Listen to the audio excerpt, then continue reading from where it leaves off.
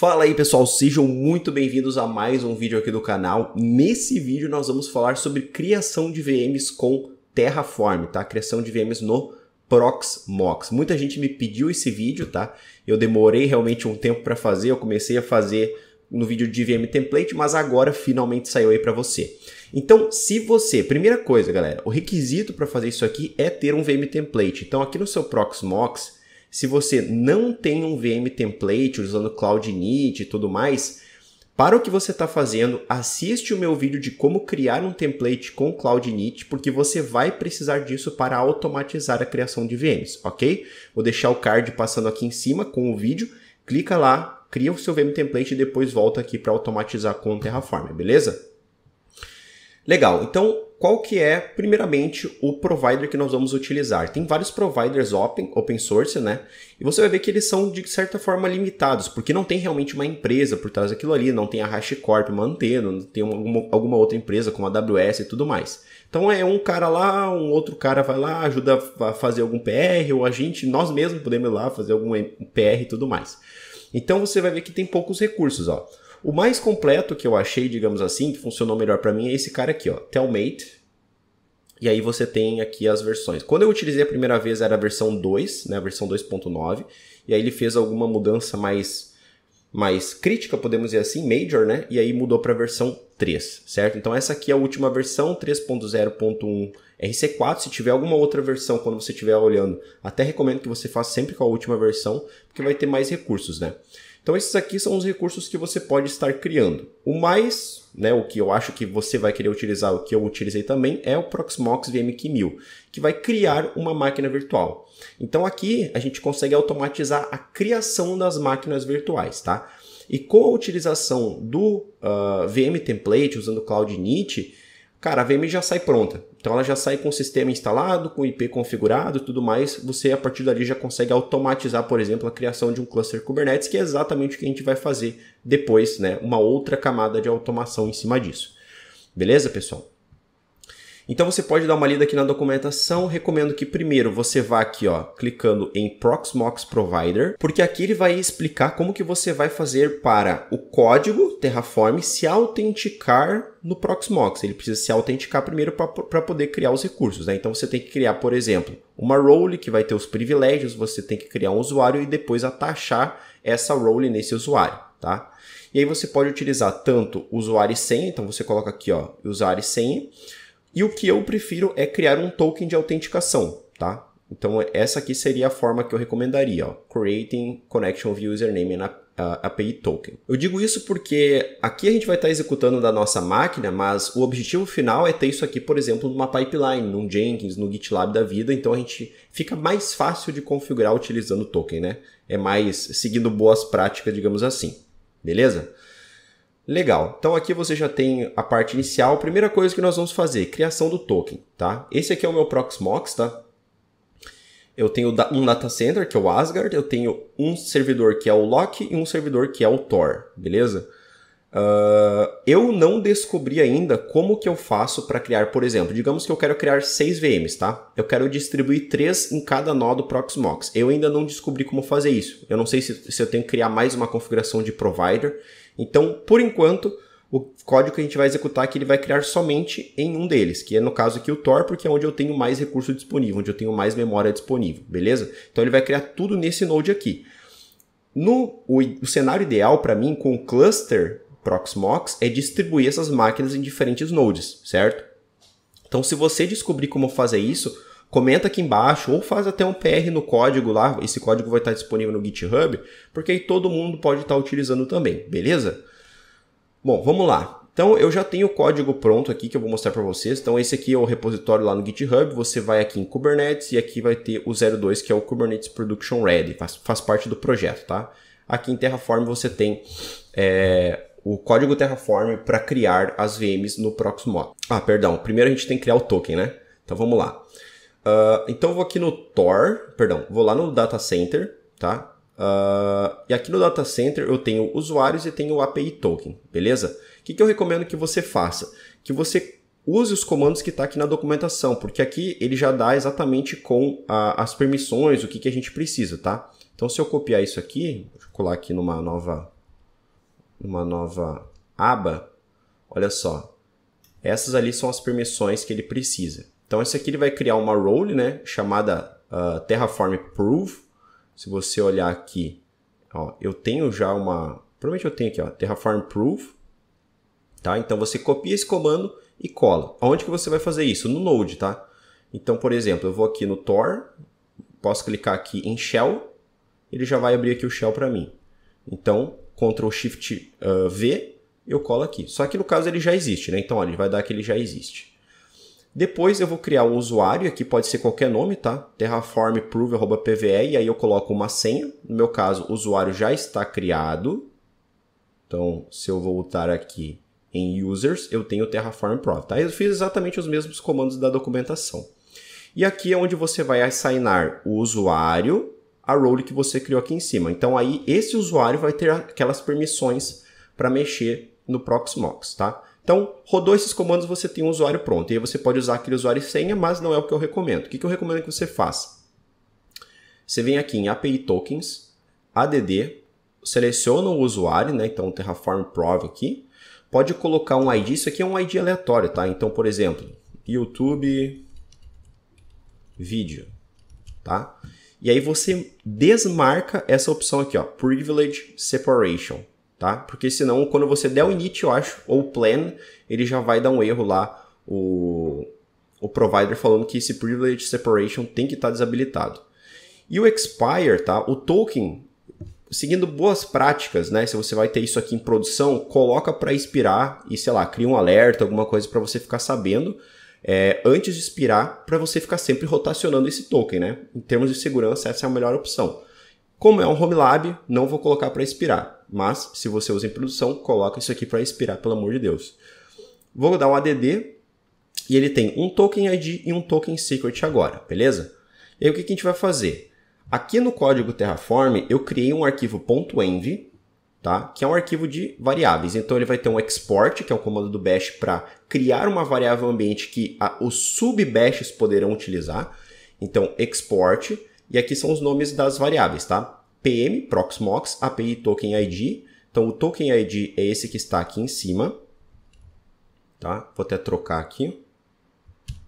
Opa, certo? E o Token Secret é esse cara aqui, beleza? Não se preocupa, depois eu vou apagar esses tokens aqui e vou utilizar um outro, tá? Para os engraçadinhos aí não querem fazer alguma coisa. Sempre tem, né? Sempre tem um russo ou um chinês aí acessando as nossas máquinas. Isso é inevitável. Beleza. Configurei aqui o ponto .env, porém essas variáveis elas não vão estar é, disponíveis ainda, certo? Deixa eu dar um ls-la aqui, env, Uh, então nós não temos essas variáveis ainda. O que, que eu vou fazer? Eu vou dar um source.env. O que, que o source vai fazer? Ele vai pegar os comandos que estão nesse ponto .env e vai executar na seção atual. Tá? Então ele vai trazer esse export para a seção atual do bash. Beleza? Então se eu der um env agora, ó, pode ver aqui embaixo que eu tenho as minhas variáveis declaradas. Então, agora, quando eu executar o código Terraform, ele vai conseguir ler essas variáveis para se autenticar no Terraform, beleza? Legal, então tem as minhas variáveis. Aqui no provider.tf, tá, você precisa alterar a URL. Então aqui é a versão, né, eu já deixei a versão uh, a mesma que eu estou utilizando. Então quando você der o init, ele vai baixar exatamente essa versão. Na teoria você não vai ter problema. Segundo, coloquei aqui a URL do meu Proxmox, tá? Então você pode ver que eu tenho que, eu tenho que informar um, um IP do Proxmox, que é 192.168.02, que vai cair exatamente no Tor, tá? Por isso que ele vai cair exatamente naquele node. Porta 8006, tá? Exatamente a porta do Proxmox, tá? Barra API2 barra JSON. Essa é a URL. Como eu estou usando o certificado autoassinado, você pode ver que ele já está todo ferrado aqui. Eu coloco PL, uh, PM TLS Insecure True. Mas se você tem isso exposto com o DNS e o seu client, que no caso aqui é o meu Pop OS, confia no certificado, você não vai ter problema, beleza? Eu coloquei isso aqui porque realmente é tudo é tudo a moda louca aqui. Deixa eu ver. Aí. Beleza, pessoal? Então é assim que você configura. Dessa forma, você já pode rodar o Terraform Init. Deixa eu até apagar aqui. Aqui a gente vai estar executando local, né, galera? Mas se você jogar isso aqui de novo para um, um ambiente produtivo, não coloca o state local, tá? Configura, por exemplo, um MinIO, alguma coisa que seja uma, uma API compatível com a do S3 e aí guarda esse, esse state remoto, guarda em outro lugar, tá? Porque aí quando outra pessoa do time ou o CI for executar, ele vai pegar esse state remoto. Então vamos lá, Terraform init, tá? Obviamente você tem que ter o Terraform instalado, né? Então aqui, baixou, você pode ver que ele criou a pastinha .terraform aqui com o provider lá, certo? E aí você pode fazer o que? Executar um Terraform plan, tá? Se ele apareceu aqui, ó, 6 para adicionar, possivelmente ele já conseguiu se autenticar, tá? Se ele não consegue se autenticar, ele já vai dar um erro, alguma coisa assim. Então aqui já é uma vitória, você conseguiu se autenticar no Terraform. Agora eu vou explicar um pouco sobre o código para vocês, porque vocês podem melhorar, podem modificar como quiserem, e eu também não, não vou reescrever tudo, porque senão fica muito chato o vídeo. Então eu tenho basicamente quatro arquivos. O primeiro a gente já viu, que é o providers, tá? Depois eu tenho um arquivo só para os meus nodes masters, tá? Isso aqui é relacionado ao Kubernetes, tá? Então esse arquivo aqui vai criar os meus nodes masters e depois eu tenho um só para workers, tá? Então esse aqui vai criar três VMs e esse aqui vai criar três VMs também. Todas as configurações relacionadas a esses dois carinhas aqui tá no locals, tá? Uh, se a gente fosse colocar, por exemplo, isso aqui como um módulo do Terraform, a gente teria que né, provavelmente jogar isso aqui para uma variables ou ler de algum arquivo YAML, alguma coisa que a gente consiga dar um input, beleza? Então, como é que eu organizei esse arquivo, galera? Eu tenho tudo aqui para cima, ó, do CloudNet para cima, são configurações uh, gerais, tá? Então, tanto os workers quanto os masters vão utilizar essa mesma configuração. Tudo que é específico desses caras fica dentro de masters e o outro fica dentro de workers, tá? Então, vamos lá. Primeira configuração, agent para 1, significa que eu vou habilitar o Proxmox Agent que vai rodar dentro da máquina. O que, que isso causa, galera? Quando você entra aqui, por exemplo, no master e você clica aqui em summary, tá? Para ele aparecer o endereço IP, né, pegar outras informações de dentro da VM, o agent precisa estar tá instalado. Então, se eu coloco essa flag para 1, significa que ele vai estar tá instalado. Essa aqui é só uma variável genérica com o meu CIDR da rede. Então, se você tem uma outra rede local, 192.168.0.100, 180, uh, perdão, 192.168.100.0, enfim, você altera aqui, tá? O código que eu fiz se eu não me engano, ele suporta só o barra 24, tá? Eu não, não fiz um código aí que se expande para outros siders, então você vai ter que modificar essa parte de rede se você tiver alguma coisa um pouco mais robusta. On boot significa que quando eu reiniciar o meu node do Proxmox, essa VM já vai ser startada junto. Qual que é o meu node do Proxmox? Então aqui eu estou colocando o Tor, tá? Mas, se eu colocar o lock, se eu não me engano, na última vez que eu testei no 2.9, ele não estava dando certo, tá?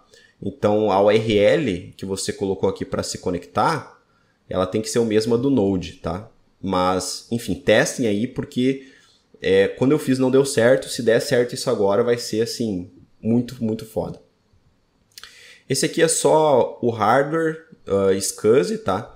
que é o mesmo. Eu basicamente entrei aqui, depois peguei as VMs que estão rodando e peguei essa, essa nomenclatura aqui do hardware, tá? Uh, aqui tem SCSI, IDE e tudo mais. Então eu só copiei isso aqui e fui passando os parâmetros para lá porque eu queria que ficasse igual às minhas VMs que estavam rodando. Então nem sei para que serve isso aqui direito.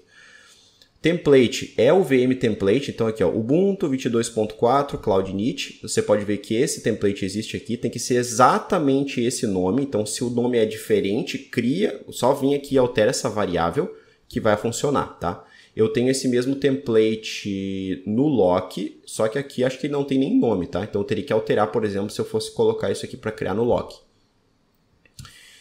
Qual que vai ser a interface de rede? A interface de rede que eu crio no meu caso, meu HomeLab, ele está usando sempre em bridge, pegando o mesmo IP da minha rede, tá? Eu não tenho um roteador aqui específico para o meu HomeLab, isso vai ser algo futuro que eu vou fazer. Então, você, sempre que você entrar nas VMs aqui, ó, você vê que no network, tá? Ele é um bridge VMBR0 com o endereço IP da minha rede. Beleza? Uh, legal. Então aqui vai ser sempre a mesma coisa. Discos, tá? Eu vou ter sempre dois discos. Um disco vai ser o disco do CloudNIT mesmo, onde vai ter o sistema operacional. E o segundo disco vai ser, digamos, como se fosse um CD-ROM que vai executar o meu CloudNIT, tá? Para quem não conhece o CloudNIT, ele basicamente vai fazer a instalação de alguns pacotes, né, apt update, apt upgrade, enfim, vai executar aquelas coisas no startup da máquina, que é basicamente o que a AWS faz com o user data, é basicamente a mesma coisa. Então aqui eu chamei o primeiro disco de main e eu coloquei aqui alguns parâmetros, tá? Uh, isso aqui basicamente vai ser tudo igual, galera. O que você vai mudar vai ser o storage, tá? O storage é de qual desses storages disponíveis aqui ele vai alocar. Então eu estou colocando tudo nesse local LVM aqui, ó, que tem um tera, e é aqui onde ficam os discos, tá? Então ele vai criar os discos das VMs aqui. E o segundo é o CloudNIT, tá? De novo, isso aqui só vai funcionar porque o VM template que eu estou utilizando, ele usa o CloudNIT, tá? E aí ele vai criar aqui no local LVM também. Uh, segundo, a, eu estou colocando aqui uma interface de serial, tá? Que se você entrar aqui na VM, você vai ver que aqui a gente tem o serial port. A gente precisa disso aqui para poder clicar aqui no console e conseguir acessar esse shell aqui. Isso, isso é a, a interface serial, tá? Então você tem que ter aquela opção habilitada. Aqui são as informações que eu vou colocar dentro da VM. Então, no CloudNIT, né? Então ele vai criar um usuário Ubuntu com a senha Ubuntu e já vai ter essa, essa chave pública injetada lá no Authorized Keys. Então, quando a máquina criar, eu já vou dar um SSH naquele IP e eu já vou cair direto na VM. Tá? Por quê? Porque a minha chave privada vai bater com essa chave pública e eu vou estar autorizado a acessar essa máquina via SSH. Beleza? E aqui são configurações específicas do master e do worker, tá? Então, por exemplo, quantos nodes masters eu quero? Nesse caso são três, porque eu quero fazer um cluster uh, altamente disponível para o Kubernetes. Então, eu estou colocando aqui como três. Tá? Se você colocar quatro, ele vai criar quatro workers. O código ele, tá, ele vai ter um count lá que ele vai repetir o número de, de VMs. Qual que vai ser o prefixo do nome dessas VMs? Então, por exemplo, ele vai criar K8S Master YouTube 1, K8S Master YouTube 2, tá? Então, coloquei isso aqui de forma genérica. Qual que vai ser o ID das VMs? Eu preciso informar o ID. Você pode ver cada uma dessas VMs no Proxmox, ele tem um número aqui né, na esquerda. Esse é o ID da VM. Então, os masters, eles vão estar na linha 300. Então, vai ser 300, 301, 302, 303 e os workers na 400. Você pode ver que ele não vai conflitar com nenhuma VM que está rodando aqui. Então, se você estiver rodando isso aí num outro Proxmox mais produtivo, dá, um, dá uma olhada se ele não vai conflitar com nada. E além disso, depois nós temos aqui a parte de hardware, né? Então tem aqui quantos cores ele vai ter, quantos sockets, qual que vai ser o tamanho do disco, quanto que vai ser de memória. Essa parte do disco é muito importante, por quê? Se você olhar aqui no VM Template em hardware, o disco dele aqui é de 100 MB, tá? Que seria 100 GB. Uh, ele é aqui de uh, 100 mil MB, que seria 100 GB. Então, se eu colocar o disco como 80, por exemplo, ele vai tentar criar um novo disco, tipo, vai dar algum problema. Então, ele tem que ser sempre o mesmo tamanho ou maior do que esse cara. Aí ele vai reutilizar o mesmo disco do sistema operacional do CloudNIT, tá? Então, toma cuidado com essa parte de disco aqui também. E depois eu tenho uma variável que é o Network Last Octet, que eu vou, eu vou dizer basicamente assim, os masters vão ser criados na faixa 70 e os workers vão ser criados na faixa 90, tá? Isso aqui tem que tomar muito cuidado porque como eu estou utilizando VMBR0 em bridge, é, isso pode conflitar com outros endereços IPs. Então, se eu for aqui, por exemplo, no meu home lab e der um kubectl get svc -a, "-a", eu tenho services que estão aqui na faixa 80, ó, 192.168.085. Né? Eu tenho aqui 84. Então, se eu colocar ele para criar na faixa 80, que eu já fiz, ele vai conflitar IP na rede, tá? Então, toma só cuidado com isso aqui. Uh, beleza. Então, aqui o workers vai ser a mesma coisa, tá?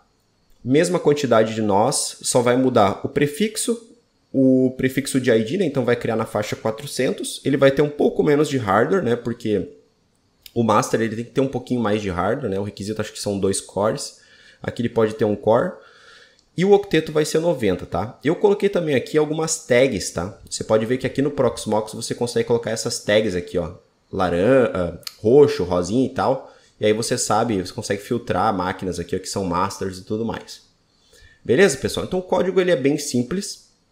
Se você olhar aqui dentro da VM, tudo ele vai pegar lá do local, tá? E tem algumas coisinhas diferentes. Então, uh, se você olhar aqui o ipconfig, eu acho que essa aqui é a única coisa que tem mais diferente.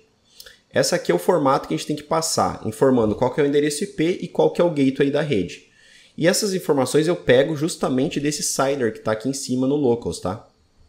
Então aqui é 192.168.024. Então eu vou pegar esse CIDR, tá?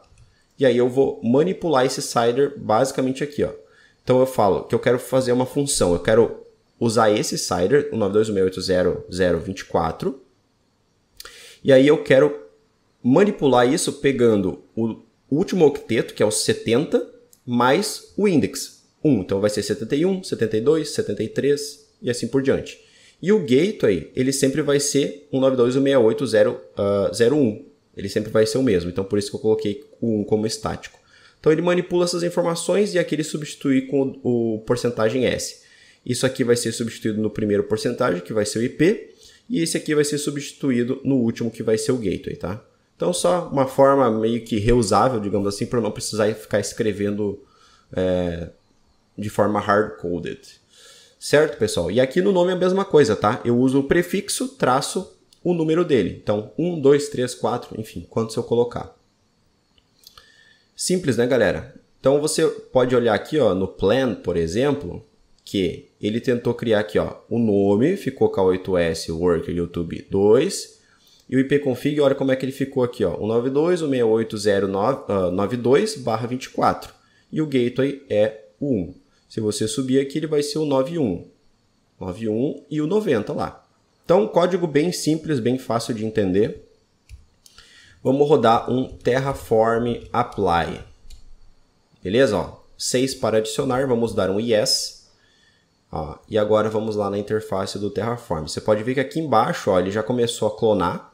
Geralmente ele faz 4 no máximo por vez. Então, conforme ele, ele vai finalizando aquelas máquinas, Aí ele começa a fazer as próximas.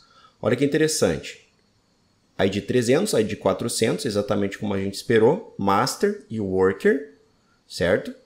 Uh, e agora ele vai começar a parametrizar. Então essa aqui é a parte de clone, né? Isso aqui realmente demora, porque enfim, tem I.O., tem que copiar e tudo mais. Então vamos aguardar aqui até finalizar e eu volto com a aula. Beleza, galera. Vocês podem ver aqui que finalizou já as duas primeiras, as duas últimas e agora começou a 302 e a 400, tá? Vamos olhar aqui o hardware, a summary. Você pode ver aqui endereço IP 192.168.070. Então o que nós vamos fazer? Eu vou pegar esse endereço IP, vou aqui no meu terminal, vou dar um ssh ubuntu arroba endereço IP. Tá? Ah, como eu já tinha recriado a mesma máquina, né, ele vai dar esse erro aqui de non-hosts, eu só apago e aí dou um SSH de novo. Yes. E estou aqui dentro da minha VM. Ó. Já está aqui com o host configurado, já está com o endereço IP. Se eu der um ping 92.168.0, é, ponto zero, vamos pegar aqui uma outra VM. Essa aqui é o 71, né? Vamos pingar o 71 aqui.